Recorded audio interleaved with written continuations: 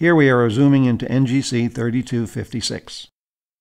It is approximately the same size as our Milky Way and bears the marks of its past galactic collision in the extended luminous tails that sprawl out around the galaxy.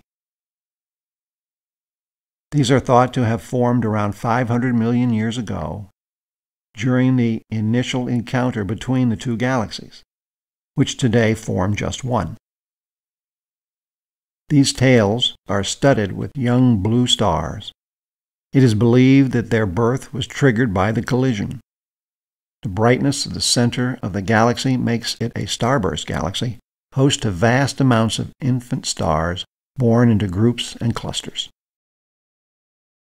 As well as being lit up by over a thousand bright star clusters, the central region is home to crisscrossing threads of dark dust and a large disk of molecular gas spinning around two distinct nuclei, the relics of the two original galaxies.